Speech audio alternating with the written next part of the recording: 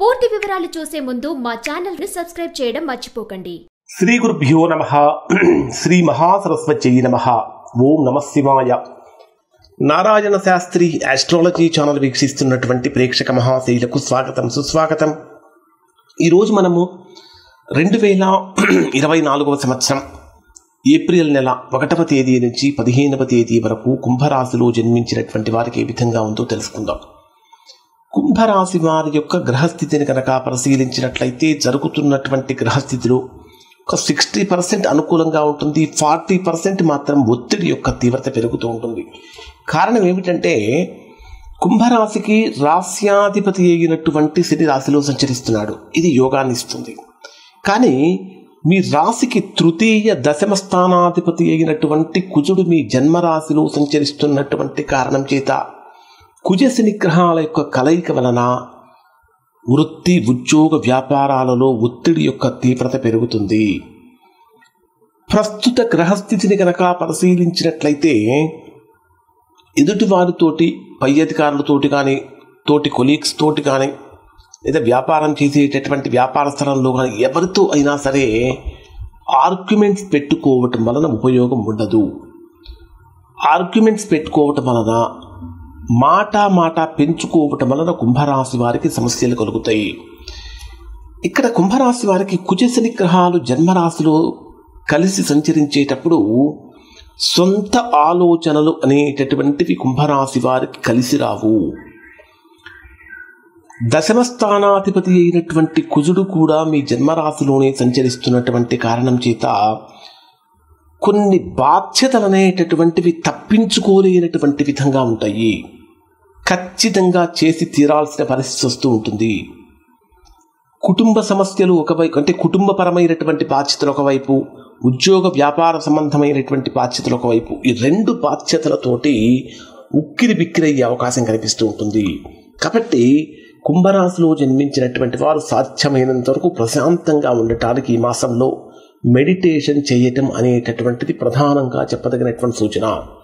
ఎప్పుడైతే ప్రాణాయామం ద్వారా మీలో ఉండేటటువంటి అంతర్గతంగా ఏర్పడినటువంటి ఆ ఒత్తిడి యొక్క తీవ్రతను తగ్గించుకునే అవకాశం కలుగుతుంది.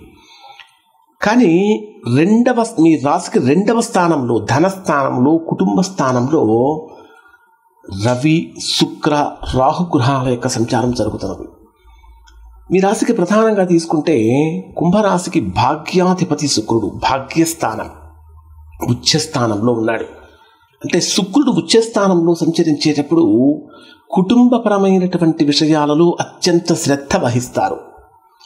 ఆర్థికపరమైనటువంటి విషయాలు బ్రహ్మాండంగా అనుకూలంగా మారుతూ ఉంటాయి. ఈ రోజు నా దగ్గర ఇది లేదు అనుకుంటే ఖచ్చితంగా అది వచ్చి తీరుతుంది. అంటే ఫినాన్షియల్ డెవలప్మెంట్స్ అవకాశం కనిపిస్తూ ఉంటుంది. మాట్లాడేటటువంటి మాట కూడా సామరస్యంగా మాట్లాడినంతసేపు కుంభరాశి వారు బ్రహ్మాండంగా ఉంటారు. ఎప్పుడైతే సామరస్యం తగ్గి ఆవేశం పెరుగుతుందో ఆలోచన తగ్గుతుందో అప్పుడు సమస్యల్లో పడతారు. సప్తమాధిపతి అయినటువంటి రవి కూడా మీ రాశికి రెండవ స్థానంలో ధనస్థానంలో సంచరిస్తున్నటువంటి కారణం చేత భార్య వైపు నుంచి కానీ భార్య తరపు బంధువుల నుంచి కానీ లేదా మీ భర్త వైపు నుంచి కానీ భర్త తరపు బంధువుల నుంచి కానీ సంపూర్ణమైనటువంటి అనుకూలతలు అనేటటువంటివి పెరుగుతాయి. ఈ మాసం వన్ టు ఫిఫ్టీన్ మధ్య కనుక పరిశీలించినట్లయితే తృతీయ స్థానంలో గురుడు యొక్క ప్రభావము తృతీయ స్థానాధిపతి అయినటువంటి కుజుడు జన్మరాశిలో సంచరిస్తున్నటువంటి కారణం చేత తల్లి తరపు బంధువుల నుంచి మేనమావుల నుంచి అంటే బంధువర్గం నుంచి విశేషమైనటువంటి ఆప్యాయత ఆదరణ కనిపిస్తుంది మీకు.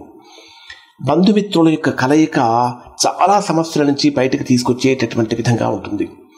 చతుర్థ స్థానాధిపతి అయిన శుక్రుడు మీ రాశికి ద్వితీయ స్థానంలో ధనస్థానంలో సంచరిస్తున్నటువంటి కారణం చేత ఏ విధంగా ఉంటుందంటే స్థిరాస్తులకు సంబంధించినటువంటి విషయాలలో బ్రహ్మాండమైనటువంటి నిర్ణయాలు తీసుకోవడానికి అనుకూలమైన సమయం అని చెప్పాలి.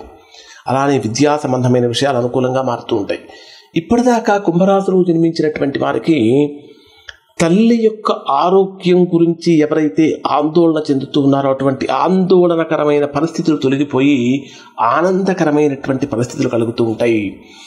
పంచమ స్థానాధిపతి అయినటువంటి బుధుడు మీ రాశికి ఎక్కడున్నాడు అంటే వక్రంలో తృతీయ స్థానంలో వక్రంలో సంచరిస్తున్నాడు. సోదరులతో మాట్లాడేటప్పుడు జాగ్రత్తగా మాట్లాడాలి ఆచితూచి మాట్లాడాలి తొందరపాటు మాటల వలన సోదర విభేదాలు అనేటటువంటి కొన్ని అవకాశాలు ఉన్నాయి. సంతానపరమైనటువంటి విషయాలలో కానీ ఉన్నత విద్యకు సంబంధించిన విషయాలలో కానీ వ్యాపార విషయాలు కానీ అనుకూలంగా మారుతూ ఉంటాయి. ఈ మాసంలో కొద్దిగా అనారోగ్య సమస్యలు అనేటటువంటి కుంభరాశి వారికి సూచిస్తున్నాయి ఈ విషయంలో కొద్దిగా జాగ్రత్తలు కలగాలి.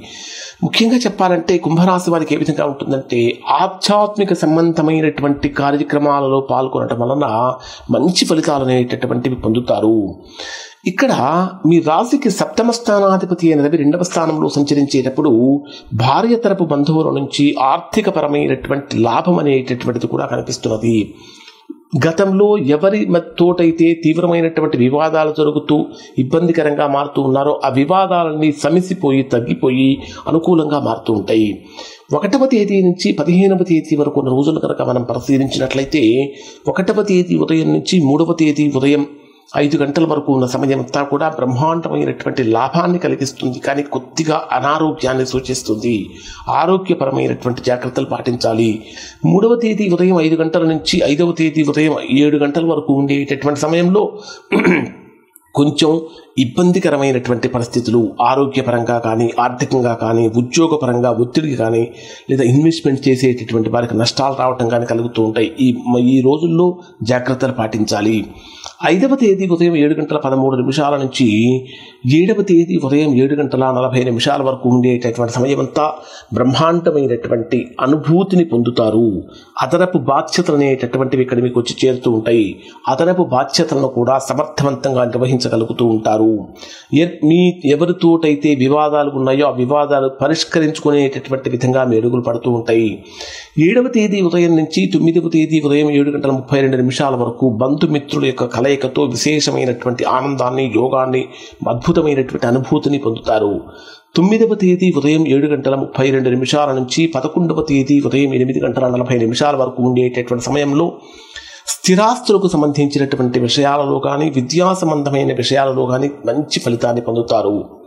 అలానే పదకొండవ తేదీ ఉదయం ఎనిమిది గంటల నలభై నిమిషాల నుంచి పదమూడవ తేదీ మధ్యాహ్నం పన్నెండు గంటల నలభై ఒక్క నిమిషాల వరకు ఉండేటటువంటి సమయంలో దేనికోసమైతే చిరకాలంగా ఎదురు చూస్తూ ఉన్నారో ఆ చిరకాల వాంఛలు ఫలించేటటువంటి అవకాశం ఇక్కడ కుంభరాశి వారికి కలుగుతుంది. అంటే వృత్తిపరమైనటువంటి ప్రమోషన్స్ కానీ వృత్తిపరమైనటువంటి ట్రాన్స్ఫర్స్ కానీ ఉద్యోగపరమైనటువంటి ట్రాన్స్ఫర్స్ కానీ ఏది దేని గురించి అయితే ఇప్పటిదాకా పరితపిస్తున్నారో ఆ పరిత అవన్నీ కూడా తీరి ఆనందం కలిగించే సందర్భాలు కలుగుతాయి.